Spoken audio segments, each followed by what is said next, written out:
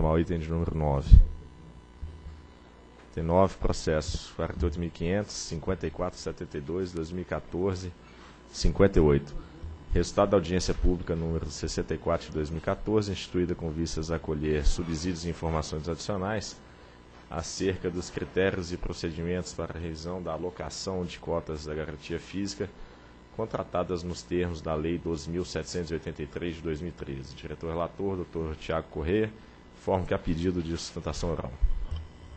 Em 5 de novembro de 2014, a diretoria, em acordo com a avaliação da Superintendência de Regulação Econômica, deliberou por abertura da audiência pública por intercâmbio documental pelo prazo de 12 dias, de 6 de novembro a 17 de novembro, para colher contribuições dos agentes e da sociedade em geral, visando subsidiar o estabelecimento de critérios e procedimentos para a revisão da alocação de cotas de garantia física contratadas no termo da Lei 12.783 de 2013 a referida audiência pública, denominada AP 64, foi concluída no prazo e seu resultado consta na nota técnica 390 da SRE. É o relatório.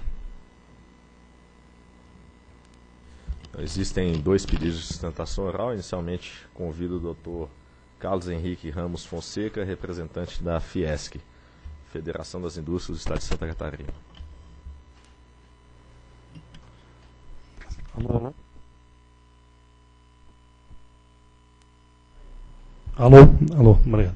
É, boa tarde, uh, senhores diretores, boa tarde, senhoras e senhores.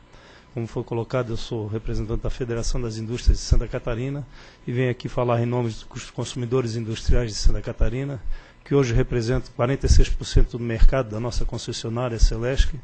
E vocês sabem que a modicidade tarifária para o setor industrial é preponderante para a nossa competitividade. Então, com essa preocupação, nós realizamos estudos e submetemos à audiência pública 64, mostrando os impactos no, eh, no custo da energia elétrica para o consumidor industrial catarinense, caso a repartição e alocação das cotas não forem feitas proporcional ao mercado. Então, nesse sentido, nós viemos aqui reiterar esse pleito de alocação das cotas na proporcionalidade dos mercado, mercados já para 2015. Então, a Fiesc reitera aqui a proposta de alocação das novas cotas e a alocação das e a realocação das existentes proporcionalmente aos mercados das distribuidoras para 2015. Tal proposta está totalmente em sintonia com a Lei 12.783, que visa a a busca do equilíbrio da redução de tarifa entre as concessionárias, bem como do decreto 7.805, em seu artigo 6 que preconiza que as alocações posteriores àquelas previstas no artigo 4 será feita proporcional ao mercado de cada concessionária. Então, esse, essa, esse pleito baseia-se na justificativa do nosso próprio estudo, que nós avaliamos as distribuições iniciais das cotas, que resultaram no mix de energia comprada pelas distribuidoras, onde a Celesc situa-se como a, sendo a mais cara energia do país. Nós estamos a 17,8% acima da tarifa média nacional. Se tivéssemos alocado já nessa primeira alocação, ou, ou, proporcionalmente ao mercado, a nossa tarifa estaria na média nacional. Isso acarretou um impacto superior a 500 milhões de reais ao ano, é, contrariando aquele princípio que falei na busca do equilíbrio da redução tarifária. Bem como no estudo nós colocamos as simulações das alocações futuras, ou seja, as alocações propostas no anexo 1 da resolução é, publicada, onde os estudos realizados pela Fiesc mostram que a alocação das cotas incrementais e a realocação das cotas iniciais, pelo critério de não proporcional ao mercado das distribuidoras, irão gerar acréscimos de, de custo na energia elétrica consumida pelo Estado de Santa Catarina de superiores a um bilhão de reais por ano. Ou seja, já em 2015. Nós temos algumas planilhas para demonstrar esses, esses estudos, ou seja, tiramos algumas planilhas dos estudos, mostrando aqui a alocação. Na primeira coluna é o mercado faturado, ou seja, a proporcionalidade do mercado. Na segunda coluna nós temos as cotas alocadas em 2014. Nas, nas colunas seguintes é a proposta de alocação segundo a, a minuta da, da resolução. Então, nós estamos aqui na última coluna mostrando as alocações que foram acima da proporcionalidade de mercado, tanto de 2014 como para o próximo triênio. Podemos observar aqui, das 44 concessionárias, 16 estão sendo alocadas cotas acima da proporcionalidade de mercado e 27 abaixo da proporcionalidade de mercado, ou seja, todas que estão em vermelho são alocações abaixo da proporcionalidade de mercado. E gostaria de destacar que a concessionária mais prejudicada, tanto na alocação de 2004, como na previsão das, do próximo triânio, é a Celesc, ou seja, nós tivemos uma alocação de 0,47% em 2014, enquanto a proporcionalidade de mercado previa de 5,21%, e assim por diante nas previsões de alocações futuras. Então, isso impactando diretamente o consumidor catarinense. Nessa, nesse quadro, demonstramos aqui que como resultou a alocação, ou seja, no custo médio de compra de energia por parte da Celesc, na alocação das cotas em 2014. Isso propiciou que a nossa tarifa é, ficasse a mais alta dentre as distribuidoras nacionais, com 17,8 acima da média nacional. Ou seja, como é que eu falei anteriormente, se tivéssemos alocados proporcional ao mercado, a nossa tarifa estaria na média nacional. Então, resgato aqui também aquela é, é, é, distribuição equânime entre as, as, empresas distribuidoras no que se refere aos benefícios da redução tarivária. Podemos ver na parte de baixo, naquela seta vermelha, que aquelas empresas que têm as menores tarifas lá, que propiciadas pela alocação de 2014, continuam sendo beneficiadas na alocação proposta para 2015. Então, isso podemos ver aqui no impacto no custo nas concessionárias. Fizemos uma simulação aqui da tarifa é, referência de 200 reais por megawatt-hora. Isso baseada na nossa tarifa lá da própria Celeste, da tarifa nova em relação aos, às tarifas das cotas, que ficaria em torno desse valor e nesse demonstramos mais uma vez aqui a, a, a, preocupação nossa no que se refere aos custos impostos à nossa concessionária Celeste e, por sua vez, aos consumidores. E nós, como representantes do principal consumidor do nosso Estado, estamos preocupados com essa alocação. Então, acarretará em torno de mais de um bilhão de reais aí num, em 2015 para a nossa concessionária. Aqui eu demonstro também, nessa, nesse quadro da Abrat, ou seja, que as permissionárias também não foram consideradas na proposta da ANEL para a alocação das cotas. Então, além da concessionária Celeste, nos nossos estados, as permissionárias como a Cooper Aliança, a EFLU e a EFLIC, também temos consumidores industriais nessas áreas de, atendimento, estão sendo impactadas também pela alta tarifa, são as três maiores tarifas nesse quadro da BRAD. Então, era isso, senhores diretores, a exposição nossa em defesa do consumo da indústria catarinense, para que seja revista essa alocação das cotas seja proporcional ao mercado das concessionárias.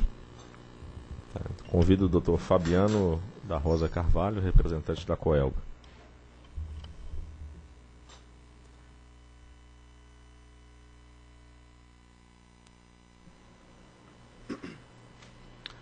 Boa tarde a todos.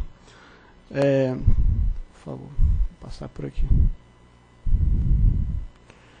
Então esse é um assunto, a, a audiência pública, né, que foi está sendo decidida agora, ela parte, na verdade, da lei 12.783, foi a, a medida provisória 579 convertida em lei, em que estabeleceu uma série de ações visando a redução da tarifa. Né? Esse conjunto de ações não, não, se, não diz respeito apenas aos contratos de cota. Né? Eles também diziam respeito à redução de encargos setoriais e redução na, nos custos da transmissão do uso da rede básica. E tinha como princípio, né, isso fixado em lei, com toda clareza, né, que haveria uma redução é, das tarifas, né, uma redução percentual das tarifas nas diversas áreas de concessão é, equilibrada. Né. E isso causou né, uma ação é, por parte da ANEL, uma regulamentação por parte da ANEL, atendendo a esse princípio, a esse objetivo legal, que resultou uh, numa distribuição de cotas que atendia a esse critério, ou seja, compo a composição tarifária das diversas empresas distribuidoras ela não é a mesma. O impacto, o benefício proporcionado pela redução dos encargos setoriais, pela redução do custo de transmissão, não era o mesmo e ficou para, no processo de distribuição das cotas, buscar esse equilíbrio na redução percentual.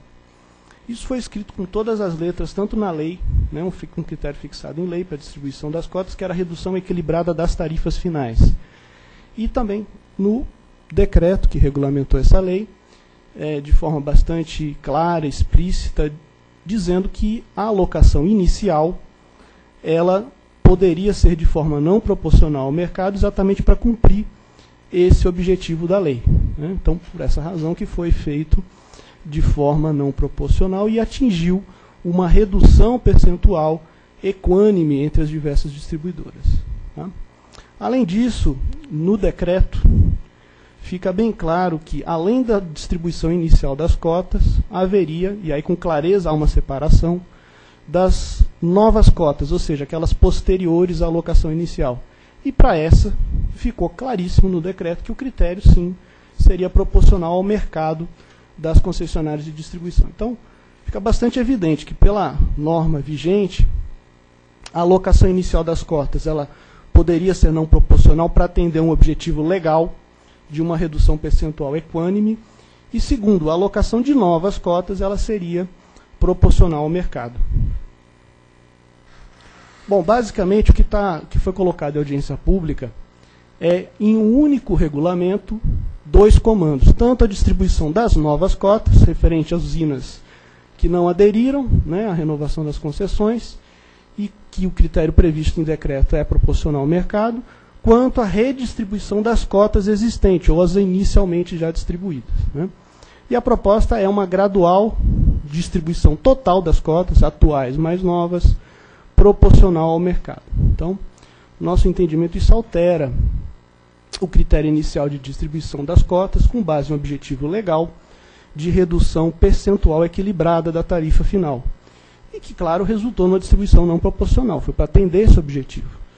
E isso implicará em aumento na tarifa dos consumidores finais das áreas de concessão onde são retiradas as cotas para distribuir a outras distribuidoras. Então, é uma questão que afeta de forma relevante aspectos de tarifa. Né?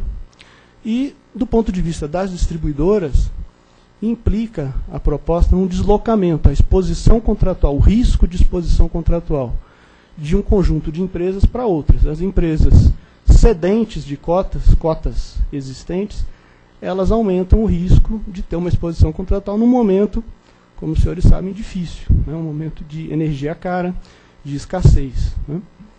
Então eu queria mostrar aqui esse gráfico. Aqui é um, um, um resumo, né, o efeito acumulado até 2017 dos montantes de energia absoluta, né, o risco de exposição das diferentes distribuidoras. Aqui são destacadas em vermelho as três do grupo Neo Energia Coelba, com mais de 200 e quase 300 megawatt médio, e outras empresas que ficariam até numa condição de sobrecontratação. Aqui está invertido, né? quando está para cá é exposição, quando está negativo é o contrário, é uma sobrecontratação. Então, colocamos até em números relativos, ou seja, um percentual do mercado, para a gente ter ideia melhor do, do tamanho. Então, um conjunto de empresas, normalmente são empresas do norte e nordeste, que receberam maior quantidade de cotas por conta da questão da composição tarifária ou porque já tinham um preço de compra de energia mais baixo. Então precisou receber mais cota para produzir a mesma redução percentual. E interessante observar que algumas empresas, nesse efeito acumulado, ficariam até com uma sobrecontratação acima de 10%, o que a gente entende que não faz sentido. Né? Bom, então o primeiro aspecto, né, ainda que tenha sido estabelecido, que não tenha sido estabelecido o critério para a redistribuição das cotas, não, a gente entende que não seria razoável adotar o que contraria o objetivo inicial. Ele teria que ser algo complementar. Por exemplo, uma inclusão de uma nova área de concessão, uma nova distribuidora ou parte de uma distribuidora do sistema isolado, isso ensejaria uma redistribuição, mas com foco no objetivo inicial de uma redução equilibrada na tarifa. E ao buscar um critério diferente, é, é, e aí começa a envolver questões de política energética, né? e com necessidade de normativos para isso, né? especiais, não, é, não seria só resolução. A distribuição de cota antes, visa, antes de tudo, a modicidade. Isso está bem claro quando se lê a lei, o decreto. Né? Ela não é um simples contrato. Estamos falando de um contrato de menos de 40 reais o megawatt-hora. O preço médio da energia é três, quatro vezes isso. Então, ela não é uma energia normal, é uma energia em condições especiais. Então, não se trata de um processo para resolver, ainda que ele se preste para isso, uma questão de exposição das distribuidoras. Ele é, sim, um processo de distribuição de um benefício. Né? E mais, a, a, surge a preocupação quando redistribui, como é que vai ficar no final. Né? Será que empresas como a Coelba, que são cedentes de, de suas cotas que receberam originalmente para cumprir um objetivo, ao final, talvez anule, se não totalmente, pelo menos em boa parte, o efeito pretendido originalmente. Tá? Então, é, a gente acha que precisa ser melhor discutido o assunto. Né? Inclusive, tem uma questão jurídica forte né? é, para o possível embasamento. Bom, então, concluindo, a gente entende que não, primeiro, não precisa definir agora, existe uma urgência para 2015. O que está sendo proposto na audiência pública é algo que vai bem além. Então, a gente entende que não é necessário, pelo menos 2016 para frente, se discutir agora. Mas certamente, de 2016 para frente, a gente alerta que não faria sentido, do nosso ponto de vista, alguma coisa que contraria o comando dado em lei. Não é nem só decreto, é lei e decreto. Então, é, realmente é, é, uma questão bem sensível. Né? E trata-se de questão de política energética. Né? Se você altera o critério original, então, é, no que tange as cotas originalmente distribuídas, dependeria de lei e decreto. Para 2015, como nós estamos falando de cotas novas, a lei não fala de cotas novas, quem fala é só o decreto. Mas ele estabelece um critério bastante objetivo que é proporcional ao mercado, que também é uma questão a ser discutida, mas é menos grave, porque não é lei e decreto, é apenas decreto. Né? E uma questão de ponto de vista prático. Né? A gente observou que nesse processo gradativo, quer dizer, superadas essas questões legais, normativas, né? ainda assim o que está acontecendo? A, a, a, forma, ainda que gradativa, ele está implicando em variações muito expostas, quer dizer, empresas ficarem muito expostas, tendo que se submeter a, submeter a comprar em leilão com grande chance de não ter energia ou energia muito cara, e outras ficando sobrecontratadas, inclusive acima de 5%. Então, é, é, talvez ponderar essa forma de gradação seria um, um, algo mais prudente. Né? E um ponto que a gente observou também são as novas, que nas novas cotas deveria incluir aqueles contratos de fornecimento direto de geradoras a grandes clientes, que vai inspirar, vai, vai vencer agora em junho, né? E a gente entende que deveria fazer parte também dessa distribuição de novas cotas. Muito obrigado. Procuradoria. Ah, tem uma apresentação técnica. Ok.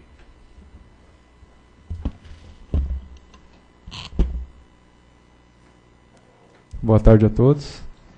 Bom, eu vou apresentar em resumo as discussões da P64. Primeiro eu queria fazer alguns comentários a respeito da legislação vigente. Né? Você tem um comando bastante genérico no artigo 1 do decreto 7850 que fala as cotas deverão ser revisadas periodicamente, no mínimo a cada três anos, e não tem nenhum critério específico. De fato, a alocação incremental é proporcional ao mercado, a alocação inicial foi visando redução equilibrada nas tarifas, mas a revisão não tem critério pré-definido, isso já foi explorado bem na nossa nota de abertura. E outra coisa que eu queria que a gente resgatasse foi o processo de alocação inicial de cotas. Em nenhum lugar da lei nem no decreto fala que é uma redução percentual igual. A interpretação da redução equilibrada foi uma decorrência de audiência pública aqui na ANEL. A gente propôs o que seria redução equilibrada. Não havia nenhum comando político por trás disso. Isso é o primeiro ponto que vale a pena destacar. Bom, Passado isso, eu acho que ficou bem claro como existem posições divergentes e na audiência pública você tem eh, empresas alegando que não deve se fazer absolutamente nada, empresas querendo que tudo seja feito na maior velocidade possível e empresas referendando a proposta da área técnica, todas com argumentos jurídicos. Então, eu acho que é uma questão que por si só, pela pluralidade de opiniões e, e argumentos, você fica bem claro que é uma questão discricionária que está sujeita à, análise da ANEL. Eu vou passar então mais objetivamente para os resultados da P. A gente teve contribuições desses agentes, é, grupo de empresas é, grandes, e aí também a Santa Maria, a Infracop, a Celesc e alguns consumidores da Celesc, aqui representada a Fiesc, mas a Fampesc também contribuiu, e os lojistas também contribuíram, comerciantes lojistas, todos com a preocupação, é, no caso, igual idêntica da Fiesc.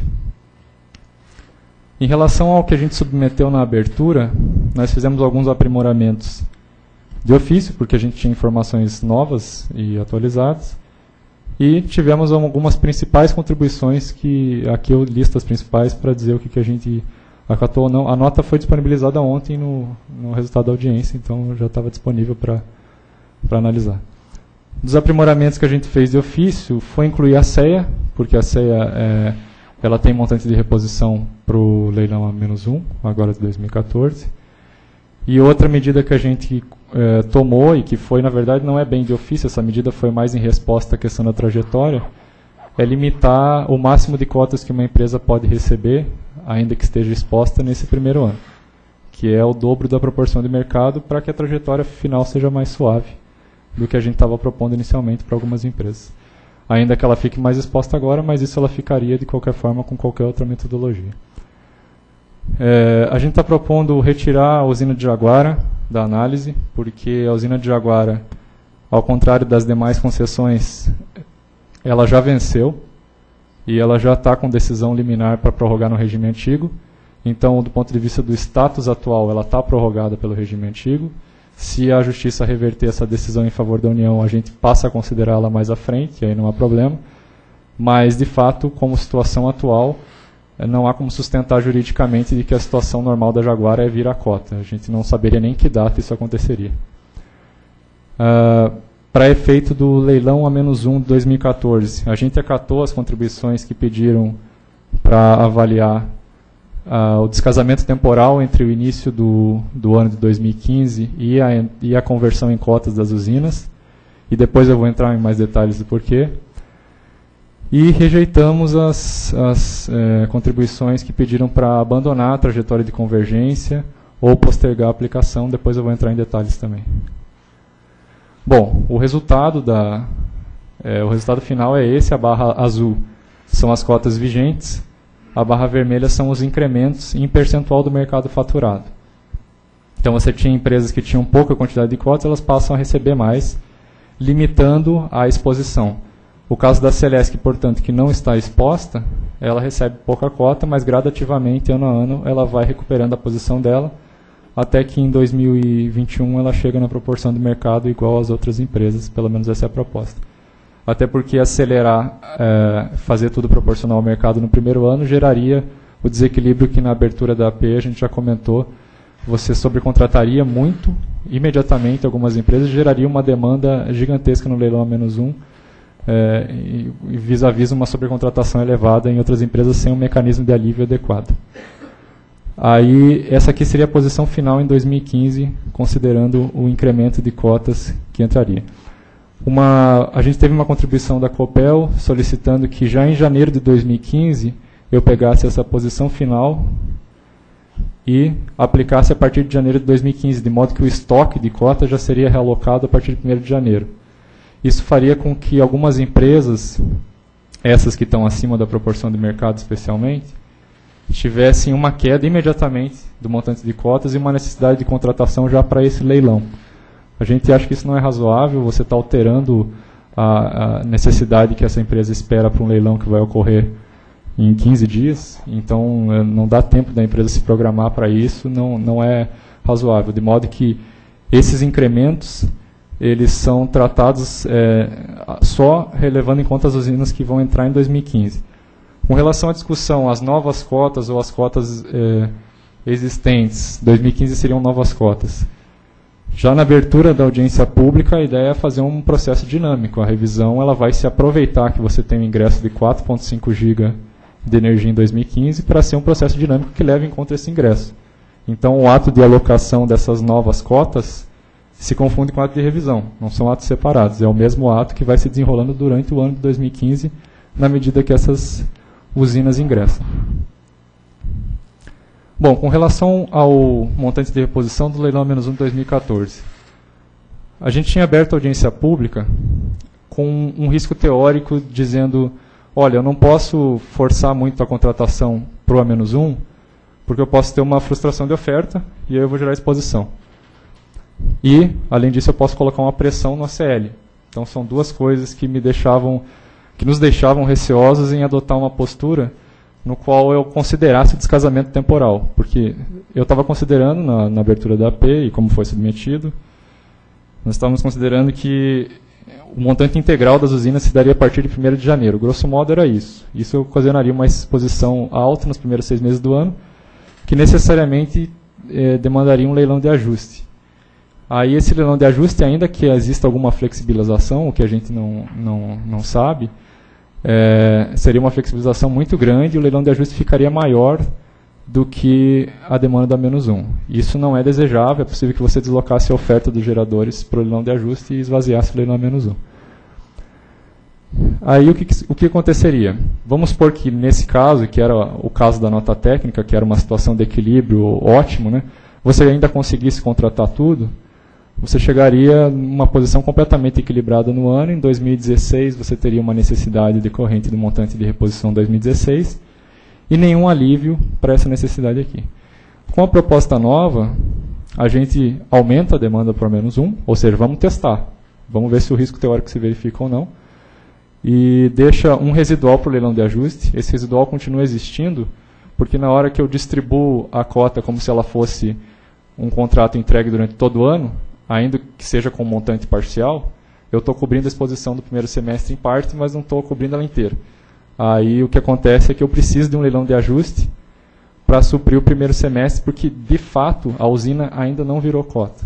Então esse, esse leilão de ajuste continua sendo necessário, de modo que não se invalidam esforços no sentido de, de flexibilizar limites IVR, se for o caso.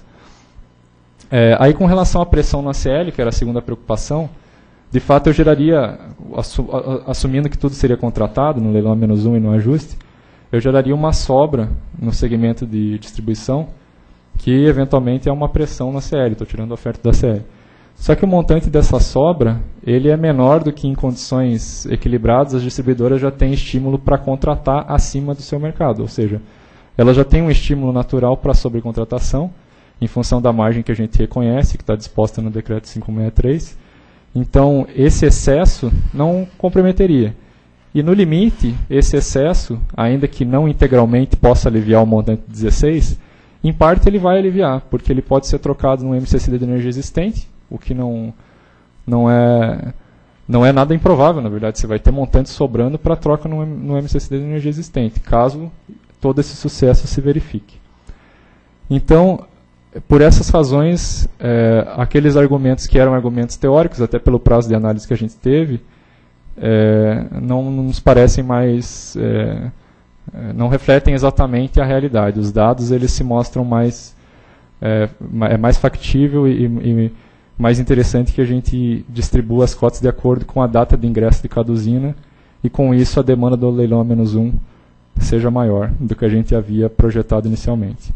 Desse modo, a nossa resolução que previa que o montante de reposição tivesse o abatimento do ingresso de cotas, a gente está propondo um anexo na minuta de resolução, no qual eu tenho especificado qual que deve ser o montante considerado para abatimento, e ele é menor do que a cota que a distribuidora vai ter no final do ano de 2015, porque é justamente em função desse descasamento. Bom, o, o que isso dá de efeito para cada distribuidora é, eu tinha distribuidoras com necessidades na barra azul, na proposta que foi na abertura da AP, eu tinha as distribuidoras na barra verde. A vermelha é a nova proposta. Ou seja, o azul é se eu não distribuir cota nenhuma, o verde é eu considero que as cotas entram em 1 de janeiro, o vermelho eu considero que as cotas entram exatamente no dia que as usinas vencem sua concessão. Então, é um meio termo e é mais adequado do ponto de vista de dar um equilíbrio e uma segurança para a contratação do segmento de distribuição. Com relação à trajetória, a gente teve argumentos de algumas empresas alegando que a trajetória era muito pesada, a necessidade de contratação era muito grande. E aí eu fui analisar os casos mais críticos e aqui a gente fez um exercício de extrapolação a partir de um mesmo mercado faturado, entre setembro de 2013 e agosto de 2014. Nós fomos olhar qual que foi, qual que era a necessidade de contratação das empresas por ano se não houvesse cotas no triênio 2013-2015. Ou seja, o que, que essas empresas esperavam ter que administrar de recontratação de seus portfólios caso você não tivesse alocação de cotas lá em janeiro de 2013. E o que, que essas empresas vão se defrontar com a proposta que nós estamos fazendo de convergência de 25% ao ano. Então você vê, se, se, a gente não tivesse optado na interpretação do equilíbrio de redução tarifária, que foi uma interpretação da ANEL, porque não havia disposição clara em nenhum lugar a respeito disso. Se a gente não tivesse optado pela, por aquela questão da redução na tarifa B1 residencial ao nível de 20%, né? foi isso? 18% ou 20%, é, e não houvesse alocação de cotas ou o critério fosse diverso, potencialmente você teria as empresas tendo que contratar mais ou menos 11% no caso da CELP por ano do seu mercado faturado, a Coelba 17%, a Semar 26%, 26% a CEAL 32%. Elas já conviveriam com isso. Em três anos, a CEAL teria que contratar 96% do mercado faturado dela se não tivesse alocação de cotas. Isso porque elas tinham muito portfólio de energia existente. Então, de certa forma, a alocação inicial olhou sim, ainda que como um efeito colateral, a exposição potencial daqueles anos. E a gente está mantendo isso, talvez, de uma forma mais objetiva agora. E a convergência não. Veja que a diferença entre a convergência e a não convergência, ou seja, se eu não aplicar nenhuma trajetória e manter congeladas as cotas, ou se eu aplicar uma convergência de 25%, não é grande a diferença e também não são montantes assustadores para empresas que se defrontavam com essa medida de recontratação aqui. Então, no caso das empresas do Grupo Neoenergia que fez aqui sustentação oral, é, a trajetória, a Coelb em montantes absolutos é grande, mas o mercado da Coelb é muito grande e isso em termos relativos não é nem um pouco não é mais desafiador do que a Coelba se enfrentava antes de ser surpreendida com o recebimento de cotas lá em 2013. Em resumo, é, a primeira revisão seria uma metodologia que combina exposição e proporção do mercado, com limitação ao dobro dessa proporção. A trajetória assumida seria 25% para a convergência da diferença. Na segunda revisão, atualizaria-se o parâmetro de mercado e novamente se faria a convergência limitada à trajetória. E da terceira revisão em diante já não haveria mais necessidade, lembrando que em 2022 tem aquele ingresso de cotas grande, então as coisas já estariam equilibradas. Alguns comentários finais que foram provocados pela audiência pública, só alguns, alguma coisa simples. É, quanto ao risco financeiro, que algumas empresas mostraram preocupação, é, eu acho que já foi abordado hoje pela manhã, mas é bom frisar que discussão dos limites PLD, na forma como foi hoje, aplicação de bandeiras e a previsão de exposição já são providências que a agência está adotando, então a agência não está parada nesse sentido. E como recomendações que surgiram das contribuições mesmo, e fica aqui a mensagem para a diretoria, uma delas, que é mais objetiva e é bem dentro do escopo da ANEL, é que ainda em 2015 a ANEL estude implantação do MCSD de energia nova. Aquele problema da sobrecontratação que gera em algumas distribuidoras com a aplicação da trajetória seria mitigado caso a gente conseguisse ter sucesso na implementação de um mecanismo dessa natureza. Então, essa é até com base numa contribuição da CPFL que não se opõe à trajetória, ela fala apenas que a trajetória deveria ter uma compensação é, com base no MCSD de 9 e acho que vale a pena estudar isso com, com bastante é, empenho. E também a questão de estudar o modelo de gestão centralizada da compra de energia, né?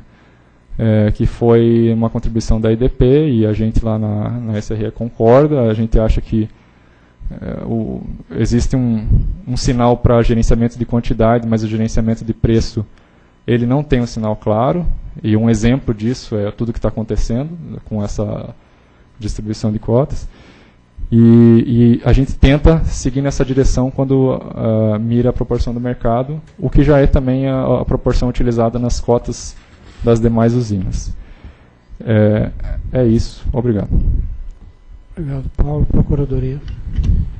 Neste processo, houve uma contribuição sustentando uma eventual impossibilidade jurídica de revisão das cotas em 2015, ante o disposto no artigo 1 do Decreto 7850-2012, que estabelece que a alocação das cotas de garantia física de energia de potência será revisada, no mínimo, a cada três anos.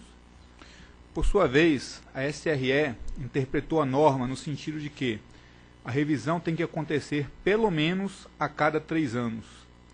A Procuradoria entende que a interpretação da SRE é razoável e legítima, na medida em que a periodicidade da revisão da alocação das cotas deve ocorrer com intervalo não maior do que três anos.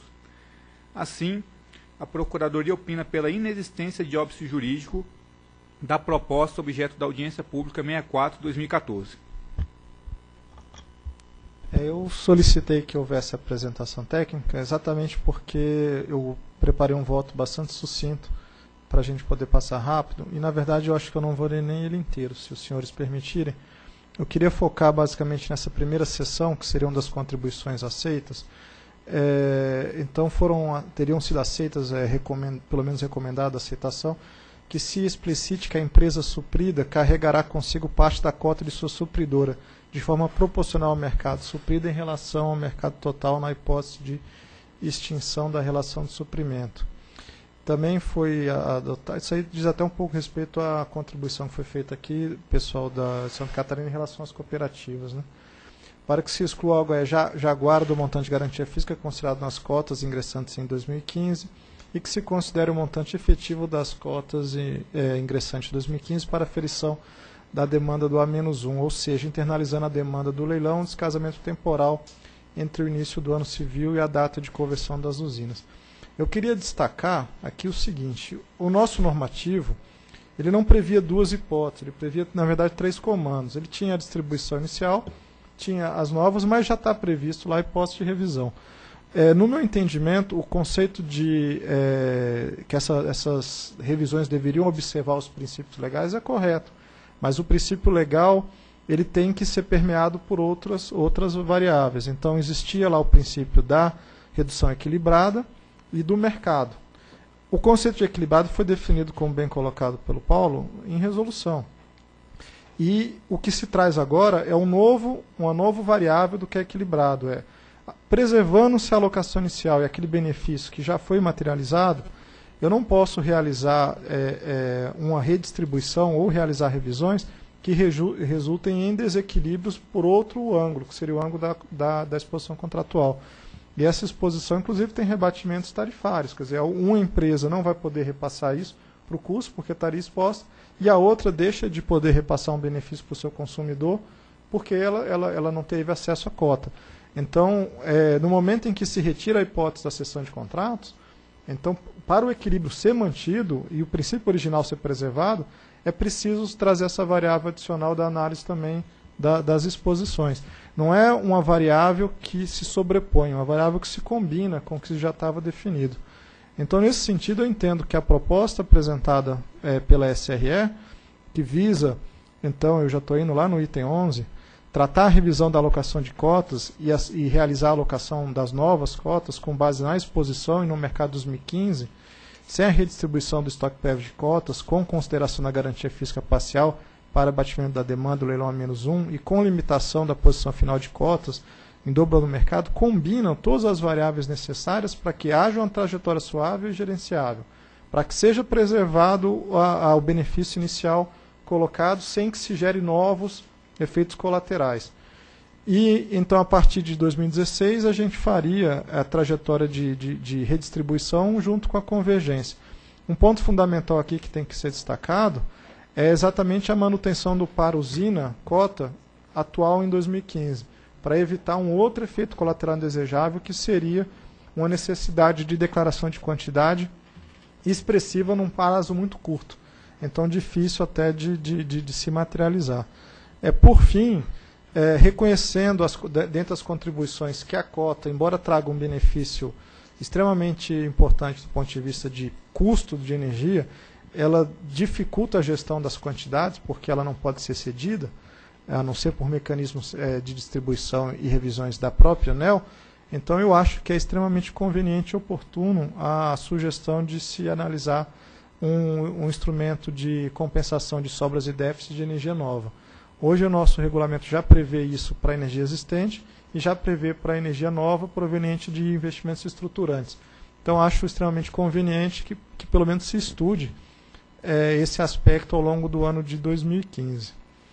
Então, é, de, também por último, aqui eu gostaria de, de ressaltar que este é mais um, um, um, instrumento que ele não pode ser lido isoladamente. Então, todas as decisões da ANEL é, realizadas é, recentemente em relação à gestão dos mercados, especialmente das distribuidoras, elas se combinam. E isso tem uma relação muito grande, tanto com bandeira tarifária, quanto com o PLD que foi deliberado hoje mais cedo. Então, pelo exposto e considerando o resultado da audiência pública 64, voto pela edição de resolução normativa, conforme a minuta em anexo, que fixa os montantes de cota para os anos de 2015, 16 e 17 e a metodologia de revisão a ser aplicada em 18 e a partir de 21, no intuito de se obter a convergência em relação à proporção de mercado, e dois, que se determine a SEM que realize estudos com vistas à implantação, com vistas a, a verificar a possibilidade de implantação de um MCSD para energia nova. É, vamos botar uma possibilidade aqui no ponto. Talvez e um prazo também. Pode até depois você combinar com ele, mas é sempre quando encomenda colocar um prazo, porque senão fica. Vago. Acho uns 15 dias no máximo. Não, acho que tá bom. é o voto. Okay. Em discussão.